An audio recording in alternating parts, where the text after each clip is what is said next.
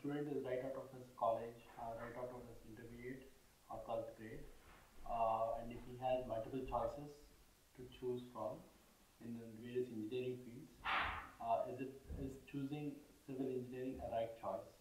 What would you suggest? If you want to choose a civil engineering as your uh, one of the engineering branches in your graduation level, uh, you should have a passion towards the engineering, civil engineering. And you know, after the bachelor's degree in civil engineering, you have various opportunities like uh, you can become a structural engineer, you can become a geotechnical engineer, you can become a hydrology and irrigation engineer, you can also choose public health and environmental engineering and you can also choose a good career in transportation engineering. Uh, after the post graduation course, you can have a doctoral program in any of these branches and today uh, in India we have uh, postgraduate uh, diploma courses also available in India.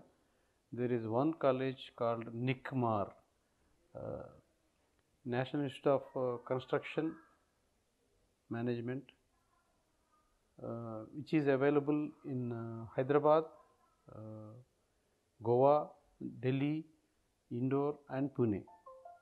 In this diploma engineering courses, uh, postgraduate diploma, they offer uh, quantity surveying, planning and construction management.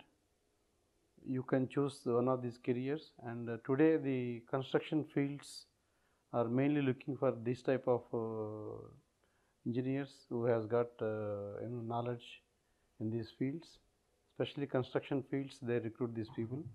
And if you choose a structural engineering field in your post graduation, you can uh, enjoy your life like a, a, computer engineer who enjoys a city life. And uh, if you choose your construction uh, management is your uh, field. And a lot of opportunities are there in construction management today. Uh, you can um, but you have to prepare to go out uh, from your cities and where the construction work normally especially dams construction and irrigation, road construction, you have to go out from your uh, rooms and uh, do your job.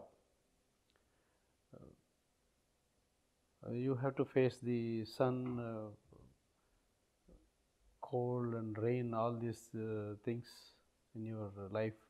I mean, you, you have to be, you know, um, very disciplined life and then you can choose this you can have a lot of careers. Today, the main construction uh, recruitments are going on in uh, the construction field.